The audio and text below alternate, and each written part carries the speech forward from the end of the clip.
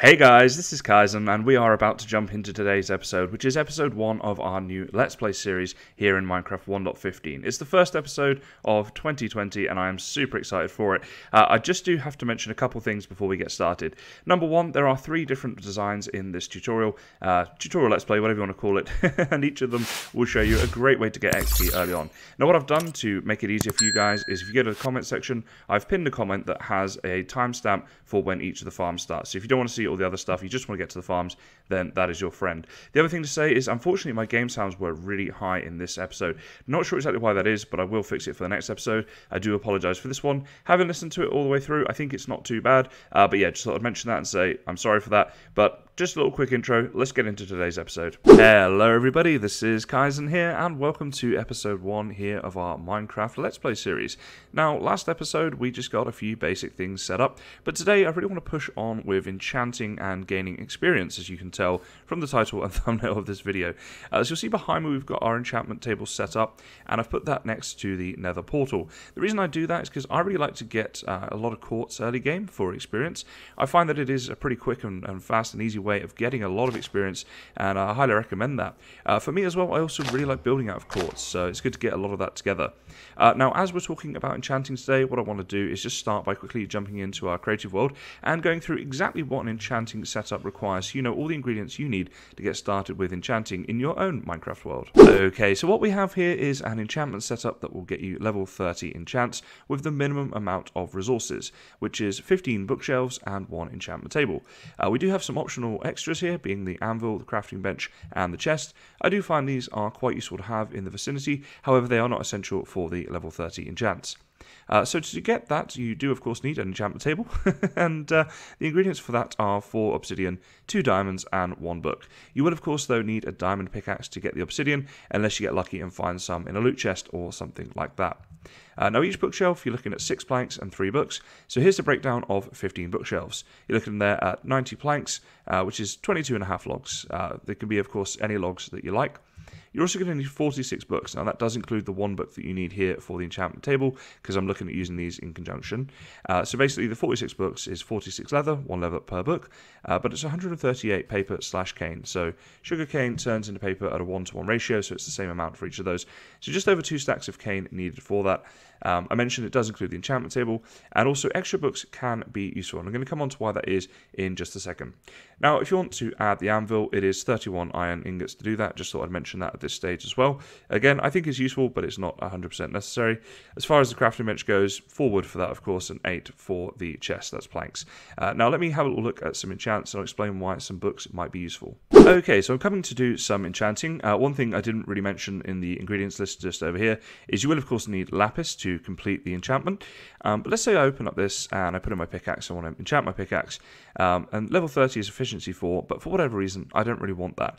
This is where having extra books can be useful, because when we put the book in, first of all, we might get something like, let's say we really want Unbreaking 3, we can go, yep, I can have that, and then using the anvil, we can put that onto our pickaxe. Um, what we could also do is say, you know what, we're just going to take the sharpness 1 here, uh, we can always combine that later to make it into sharpness 2, and so forth and so on, you know, when you get the better books.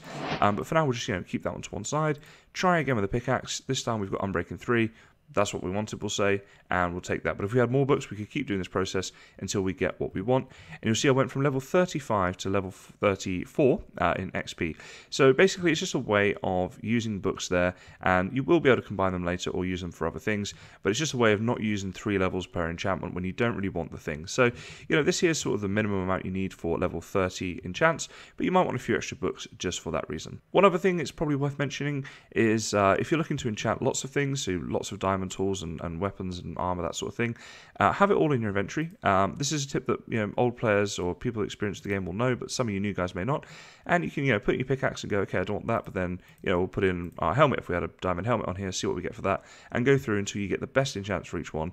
And this really is the best way that you're going to get the best enchantments as early as you can on the game. Alrighty, guys, so that is you all up to speed on the enchanting process with a few little tips there that I hope you found helpful. Um, so now, of course, the question is, how do we get a lot of XP, particularly early on in the game, so that we can do as many enchantments as we want? Well, today I'm going to show you a few different ways that you can do it, a few different farms and ideas, and they're all pretty simple. They're all early game things. You know, I'm only on day two here. I have done a lot of mining and resource gathering, uh, but nothing, you know, too out of the way. Um, now, the first one, this is everything that you need to make it. Now, I actually made this uh, in a tutorial video of mine, and I'm going to link that in the description if you want to see the full thing. What I'm going to do now is just go ahead and make this thing. I just wanted to show the ingredients first to show just how simple it really is to make. Uh, once it's up and running, I'll take you through a little demonstration as to how it works. So, I managed to fall off and die while I was building this thing. so, this better give me some XP, hey, because uh, I'm going to need it to get it back, and my items have gone absolutely everywhere. Um, it is almost done though. Um, I was just sort of falling at the final hurdle there when I was doing this, and uh, yeah, kind of going for a death an episode at the moment, so pretty good going. I'm going to go and quickly finish this one up, and then we'll have a little look at how it works in action. So I've muted my game sounds for this because it is incredibly noisy. Um, this isn't actually a problem because it is built up in the air, so when you're down on the floor there, you, you won't actually hear it. Um, it's just for the recording purposes, it's not so great. Um, so we have cactus on this side, we have bamboo on that side, bamboo being the fuel to smelt up cactus, as you can see here, with plenty of storage space to get a lot of this happening. And uh, there we go, we got some green dye going into here. Um, now, I do do a full tutorial, as I say, and there'll be a link in the description. Uh, but the way this works is we can lock these furnaces here, like this, uh, by flicking that lever.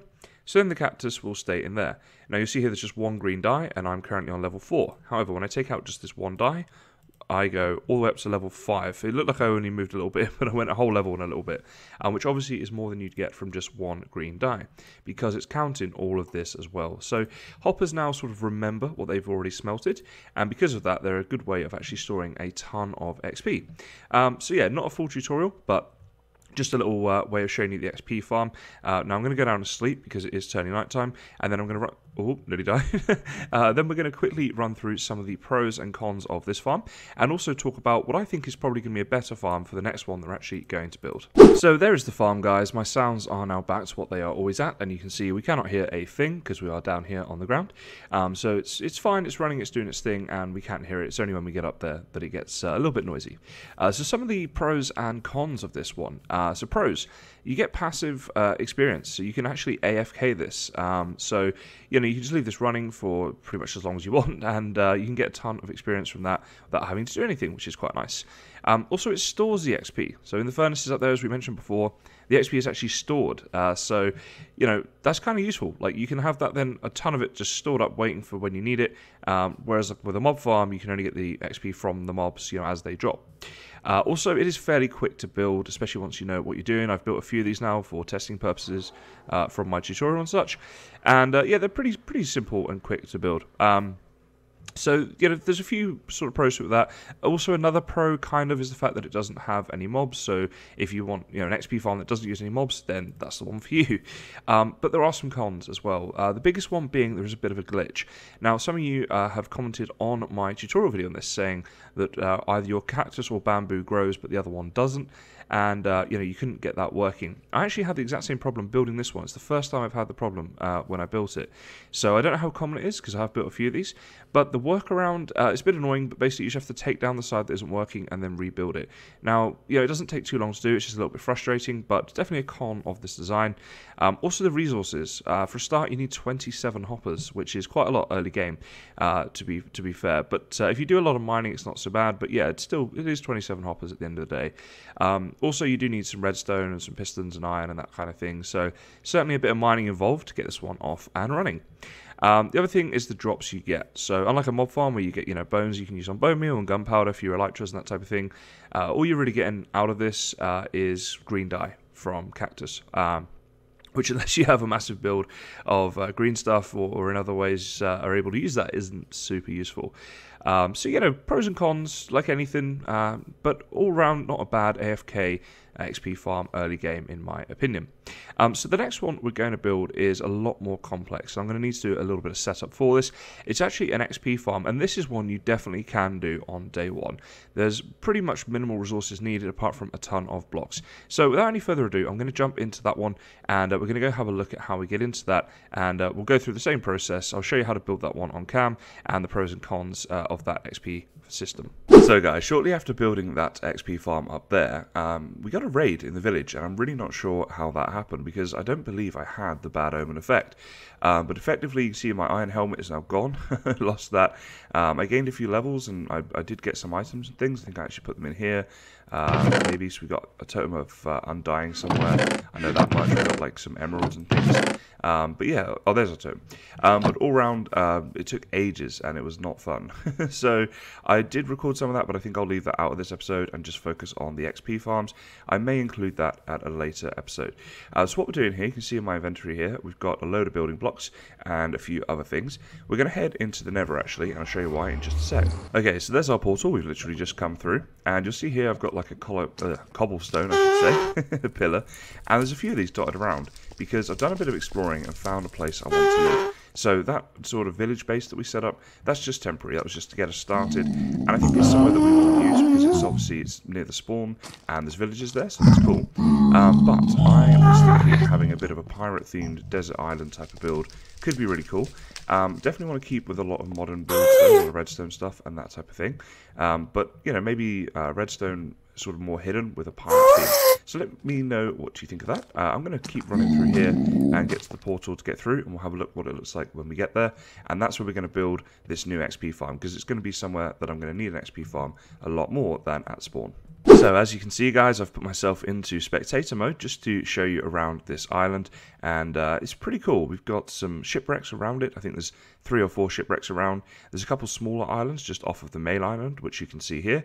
Uh, another shipwreck coming into view just now. So I think this could be a really good place to build our pirate-themed base with all of our redstone builds and contraptions, all that sort of stuff involved. There is a ravine there as well, which we might be able to use. And uh, I just thought I'd show you guys around so you can see how this series is going to develop. And if you have any ideas, you can, of course, leave them down in the comments. Uh, there's our nether portals. That's obviously how we get here. Um, but yeah, let me know your thoughts if you're happy with the type of building I'm going to be doing and uh, the ideas I have for the series. Uh, but now let's jump into building that mob farm. So we're going to get ourselves down here, put ourselves back in survival, and then build this thing. Okay, so our bed and work area was over there, and what I decided to do was just come to this little island here, and this is where we're going to start building this thing. Uh, so the first thing you want to do is build really high up above all the trees and that type of thing. So that's why I've got all of this scaffold in here, so then we can also use that as an elevator to get up and down from the mob farm. Uh, you know, certainly until we have an elytra, that sort of thing. Uh, so let's place all of this down, and then we'll have a look at the next step. Okay guys, so as you can see, this did get us pretty high up. Um, I did fall off once and die, which is why I'm down to level 7. What I've done, I've just put a little scaffold in here, so we actually go stand on this one, um, and we can, this is a little bit tricky, but you can just, like that, place a block, and once you've got that block, you're really good to go. So this is just going to be now a little platform that we're making. So the way I want to make this is along here like this. So this is going to be the elevator to get up and down, and then I make a little platform here to work off. So let me just get that in place, and then we'll come on to the next stage to build this thing. Alrighty, so our workstation is now ready to go. You know, crafting bench, chest, and bed, just the usual stuff. so we started working on the chamber just to get that in place, and we're going to head up this way. Uh, now, if I go up here, we can have a little look down inside. The reason I've got glass is so we can see into it. It's not you know necessary, but I just think it's quite a nice touch. Uh, it doesn't take too much, as you can see, either. So we've come up 5 blocks at the minute. So what we want to do is go up 22 blocks in total. So when the mobs fall down, uh, they will then be on one hit to kill them. Um, now, with that being the case, you may want to make this uh, bigger if you're looking to just collect the drops and you're not worried about XP. But seeing as we're looking to get XP, I am going to make it at that height. Uh, so let me go and uh, place these blocks down so we go up to the height we need, and then I'll show you how to make the platforms, and we'll go on from there. Okay, so now that we're up here, you can see we're up the uh, 22 blocks we need to go. We need to extend off by 7 from each of these, so it'll be 8 in total. So that's one, two, three, four five, six, seven, and eight. There we go. And we're going to do the same for each of these. Now, some of you may have already guessed the fact that it's uh, eight long. This is going to be the water streams, which will push the mobs down into here, and they'll fall down to a one-hit kill. So I'm going to go and make the rest of these, and uh, then I'll come back and we'll go on to the next step. So with the four arms now in place, it brings me on to an important point. Make sure you light this thing up as you go, because you will get mobs spawning up here, and that will make things rather difficult for you. Uh, you can see I've placed these blocks here on each of the four corners. The reason for that is what we're going to do is we're going to run these down here like this, and we go all the way around each of the arms with each one of them, and they need to be too high. Um, so basically, all the way around like that to the other side, and up another one again, again, all the way around to the side. Uh, so they're sort of making the little trays that the mobs are going to fall into. So I'm going to go ahead and make all four of these trays, show you what that looks like, and uh, then go on from there with the next step. So with the four trays built, you'll have something that looks a bit like this. Um, so as I say, this is where the mobs are going to get carried to the sort of killing chamber from. Uh, but the next thing that you need to do now is outline each of these really. So we're going to come out this way like this, and we're going to connect it up over there. Now you can see in the corner of my screen there, we've got a ladder. I highly highly recommend you bring lots of ladders with you, because uh, if you're doing this in survival mode as I am, then it's quite handy because you're going to be up and down from that platform a fair bit uh, to get resources and that type of thing. Also, it can stay there once the farm's built and just be used as a bit of a service area. Uh, so we need to do this on all four sides, of course, and then we can fill in the middle. Uh, you can really do any sort of design you want, just ensure that whatever blocks you place in the middle bit, uh, mobs can spawn on, of course. Otherwise, you'll have a pretty rubbish farm. Uh, so I'm going to go ahead and build my version of it now, and uh, then we'll come back and carry on from there. Alrighty guys, so the platforms are now built, all four of them. Um, you can build it out of anything you want. You know, I could just build this out of like cobble and say as long as uh, mobs can spawn on it. I went for a bit of a design. I, it's obviously like a very simple design, but it'll still look a little bit better from the bottom. Uh, so that's what I was kind of thinking of. Um, now what we want to do is place down slabs. So basically spiders are not welcome here. Um, spiders this like mob farm will not really work with spiders, so we want to stop them from spawning. And by placing slabs down like this, that's how you can do that. Um, so essentially what you're doing is placing one in each of these corners where your platforms sort of start like that. Um, so that's those four in there. Uh, one in the middle, so there'll be a two gap either side of them, just like that, and then one right in the middle of the platform. So it'll look like this. So I'm going to do that to the other two sides, and then we're going to come back and get the water and trapdoors in place, and uh, go on from there. So for the water, probably the easiest way to do this is to place a couple of blocks down here like this, and create yourself an infinite water source, uh, particularly in survival mode, and that way you only need two buckets of water. Uh, so what we're going to do then is place one bucket down here, one bucket down here, go back and collect our water from the infinite pool, and do the same on all of the sides. And you'll see here the water comes perfectly to the edge here, which will then push the mobs, of course, perfectly to the edge, and they will fall down there. So we go and fill in these channels, and then we'll come back and carry on. Okay, with the water all in place, the next step is to place the trapdoors. So you can place them all along this side here, and then all along the other side as well, the whole way down these water channels. Um, so basically, for those of you that don't know, mobs will see these as being like this and think they can walk across them, even when they're like this. So then when they try it, they will fall down into here and get carried down to their one-hit kill death that we're going to give them.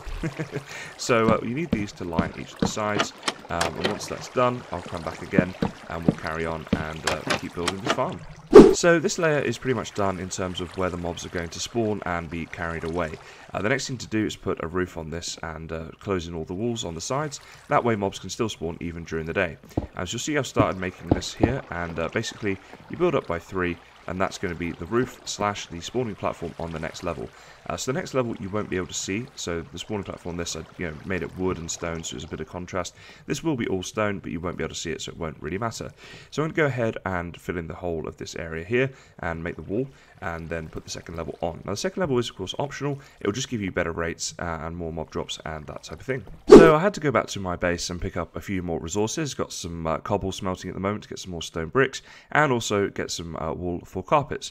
So while I was here, I thought I'd have a little look at this thing and uh, see how we do. We're on level 7 exactly at the moment, which is quite nice actually, so we can sort of see how well we do. Now I turned the bamboo off because this chest was getting quite full.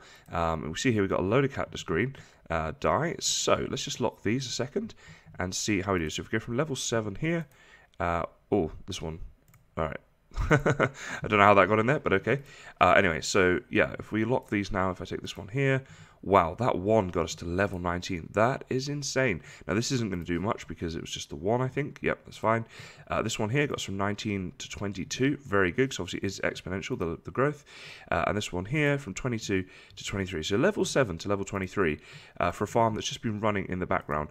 I'm pretty happy with that, guys. I've got to say, uh, this you know hasn't been running all that long this episode, so that's pretty cool. Uh, so I'm going to go and get the rest of the resources I need, and then we'll go back and finish off the uh, XP farm that we're building over our new base area. So in episode zero, guys, we got our first diamond, and I put it in this little chest right here, and said I was going to name after a patron to thank them in this episode. So we're going to do that now. We're waiting for our cobble and stuff to smelt up. Uh, so down here, we go to the anvil, and we're going to name it. Here we go. And this is to thank them for their support. It is Aradorian, like that. Now, I don't know if I pronounced that correctly. I think I spelled it correctly, Aradorian. Yeah, pretty sure that's right. Um, so very, uh, like, thank you so much to you for your support uh, recently up their pledge to me, which is just incredible. Thank you, thank you.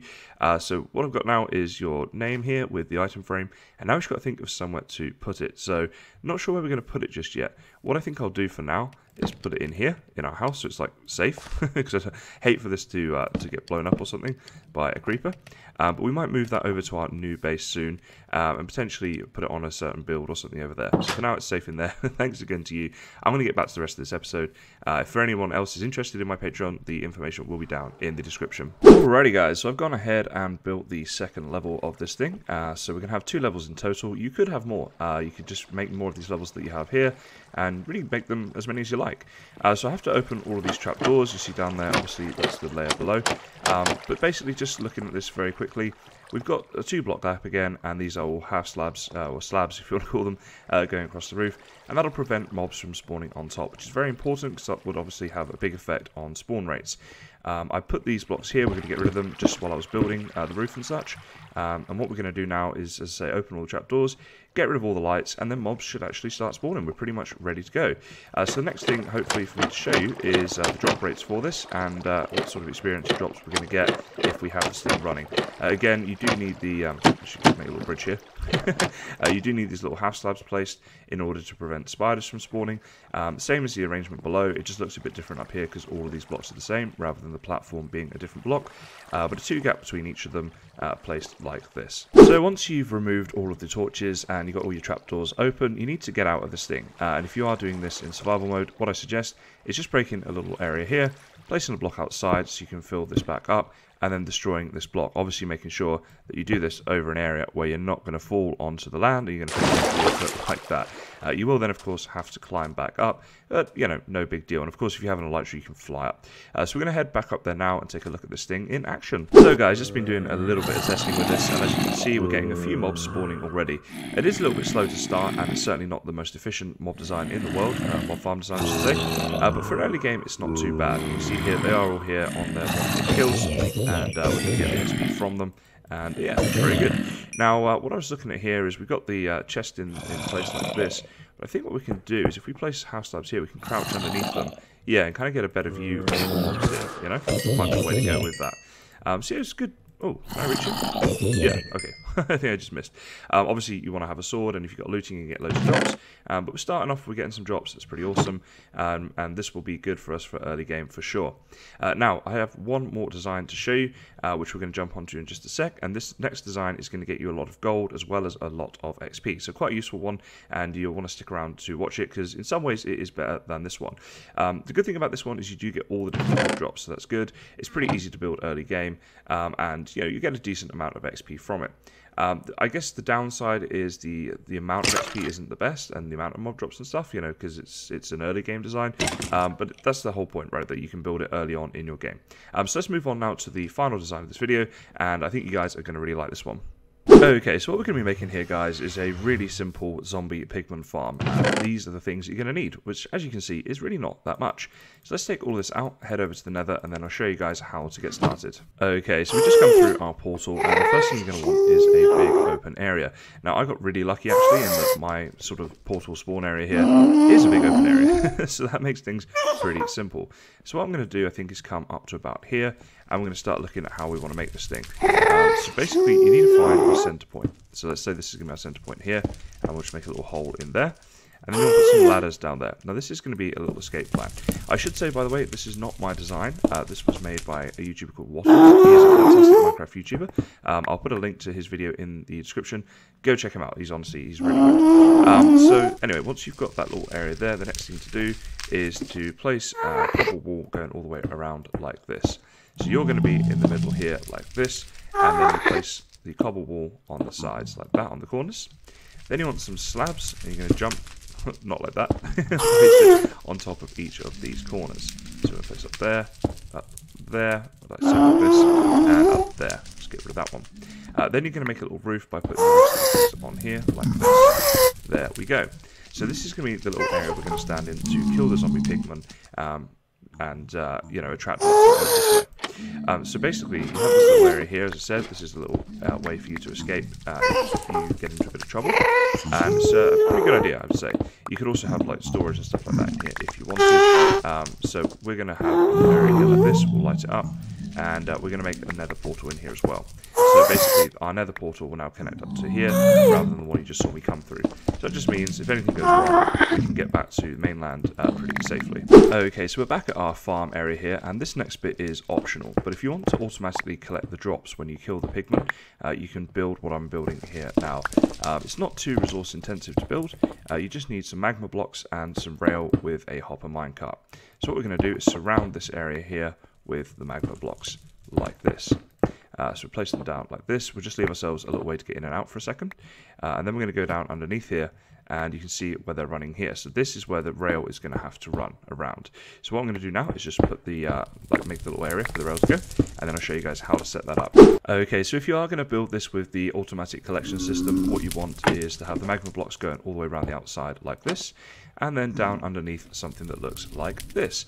So we've got our hopper minecart here, which will pick up any items that are dropped on those magma. So most of the drops will fall on those. There might be a couple that fall a couple blocks outside, but generally you should be okay. Um, so when I push this button, this cart will go all the way around, pick up all the drops, and then come back again. Now, we'll miss this far corner here, but you can just try not to kill mobs in that corner. Uh, basically, this is going to get, you know, probably 90% plus of all the drops. So there might be a couple of flaws, but in general, it's pretty decent, uh, especially for an early game farm like this. Uh, so that's a powered rail under there that's powered when I push the button, so it stops there and you can get all your drops at the end. Uh, then we just got normal rails with a couple of powered rails that are powered on uh, as we go around here. Um, and as you can see, I've been placing slabs down on any blocks where pigmen could spawn to prevent that from happening. Um, and then there's like this one block here, but you know, should be okay. I'm sure it'll be okay. Um, so now we want to build our nether portal, so we're going to build that down in here, um, and then we'll be able to get out of here at the end as well, which is awesome. Uh, so we get rid of these ones here, uh, one, two, three, four, like that. One, two, three, and four, like that.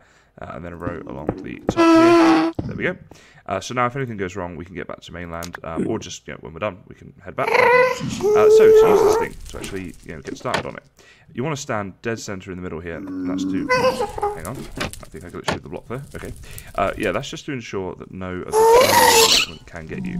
Um, you also want to be careful with ghasts. Uh, if they come along, you want to shoot them with your bow and arrow, your crossbow like I've got here, because uh, they can obviously, you know, be a bit of a pain. Um, if I shoot this guy here, like this, of course, all the pigmen in the air are going to come. You want to make sure you stand central, um, and simply kill them. Um, and it will take a little bit of time. Um, this is why you want the big flat area as well, because then more people will come. And you're going to get a lot of XP from this, and a bit of gold as well. So what you do is, you up a bit, you just go down and send a minecart around, and you will pick up all of the drops. So guys, there you have it. Several different options there for early game XP farms that will get you off to a good start with your enchanting on Minecraft 1.15. Uh, so if you like this episode, guys, please do consider liking and subscribing. It is greatly appreciated. And I do plan on making many more of these episodes, so it'd be great to have you following along on this series with me. But for this episode, that is all that I have time for today. So as always, guys, thank you very much for watching, and I'll see you next time.